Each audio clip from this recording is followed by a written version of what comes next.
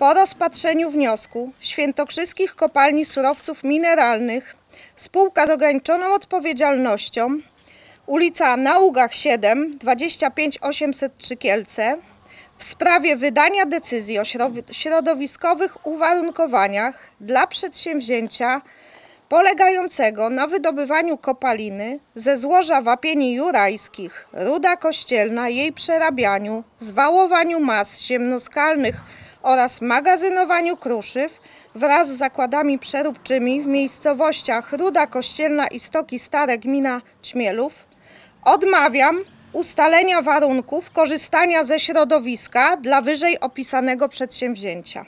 Na taką decyzję mieszkańcy sołectw z północnej części gminy Ćmielów czekali. Oficjalne stanowisko burmistrz zaprezentowała wczoraj na spotkaniu z mieszkańcami w Rudzie Kościelnej. Opinia, która w tej chwili y, jest wydana, negatywna, ona jest w pełni uzasadniona złym raportem, postawą mieszkańców i y, rzeszy ludzi y, uczonych, którzy, którzy również y, przyłączyli się do protestu. Liczyłyśmy cały czas, że taka decyzja będzie, no ale myślę, że będziemy spokojni, pewni po dwóch tygodniach, jak już się wszystko uprawomocni. W maju 2021 roku Świętokrzyskie Kopalnie Surowców Mineralnych spółka ZO w Kielcach wystąpiła do gminy Ćmielów z wnioskiem o wydanie decyzji środowiskowej, na podstawie której spółka mogłaby uruchomić kopalnię odkrywkową w Rudzie Kościelnej. Wniosek wraz z raportem oddziaływania inwestycji na środowisko został wysłany do Regionalnego Dyrektora Ochrony Środowiska w Kielcach, Powiatowej Stacji Sanitarno-Epidemiologicznej w Ostrowcu Świętokrzyskim i Państwowego Gospodarstwa Wody Polskie w Radomiu celem zaopiniowania. Po analizie dokumentacji wskazano na szereg niejasności, co przypieczętowało odmowną decyzję burmistrz Ćmielowa. Decyzja ta posiada mocne, merytoryczne uzasadnienie. Wszystkie organy, które były zobligowane wypowiedzieć się, również w decyzji jest opis stanowczego nie dla tegoż przedsięwzięcia.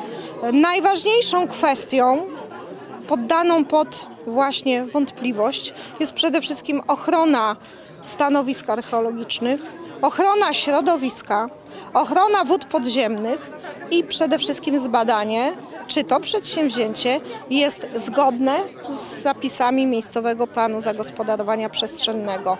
Uruchomieniu kopalni wapienia w Rudzie Kościelnej bardzo mocno sprzeciwiali się mieszkańcy.